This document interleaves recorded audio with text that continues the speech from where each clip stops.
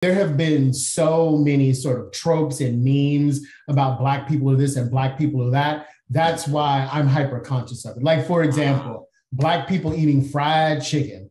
Because I asked my friends and said, you know, we're going to premiere the show on Juneteenth. You think that's disrespectful? And one friend said, as long as you're not eating fried chicken and watermelon, I think you're good. Because what's the one, you know, they love fried chicken. First of all, I've been all around the world.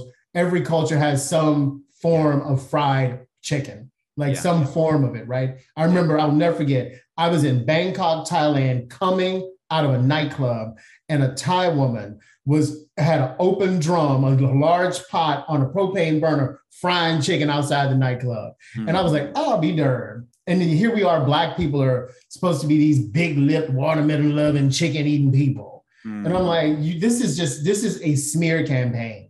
So the consciousness around ways of being as it relates to race are not are a, it, it, relates to a consciousness of not reflecting the tropes that are out there so that you don't yes, those yes, yes. Because what I'm trying to understand is like if you went across the, the country, white, black, or otherwise, you would get a whole range of different cultural ways of being. And right. I'm not and, and and and I understand that professionally there are certain norms that exist, norms that, like I said, I didn't grow up with you know, may, or maybe to a small extent, my parents tried to, you know, get me to dress up nice and at certain points in time, but it was very, very, very little. So I'm trying to, I understand that these norms, but I also think there are just lots of variation in cultural communities mm-hmm. and, and we all right. have to adapt in different ways. And, and so I'm really trying to understand: is there a black white divide here, or is there just there is one? No, there is one. So what is? You're right. You, what, Other than the tropes, are the tropes, or what? All, all the other races of people with variation of cultural being and manifestation are not being showcased and denigrated as publicly as we are. So I think I'm understanding now.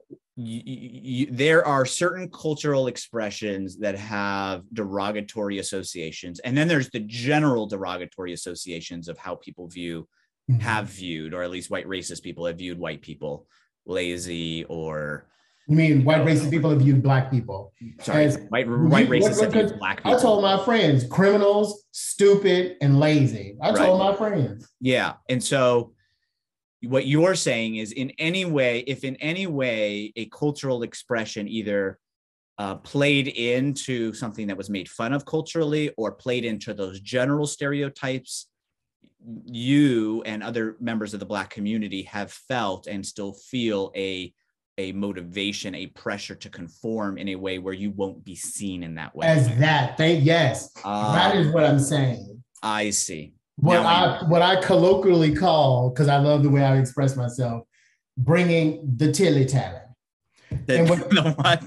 The tilly tally what is that the tilly tally and what the tilly tally is is your because we used to have a saying among black people we would say so and so is proper.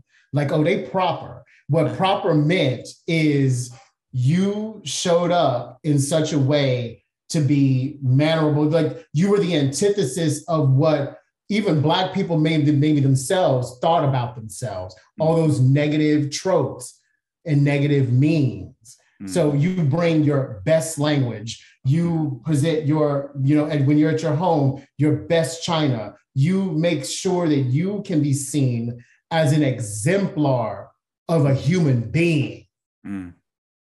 yeah mm, do that again mm. mm. not a, not an exemplar in your profession not an exemplar in your school but an exemplar just as a human being i see that's what we carry around yeah yeah Okay, I understand. I understand.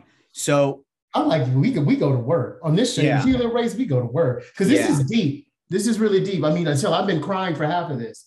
To watch the rest of that episode, go ahead and click the video below me.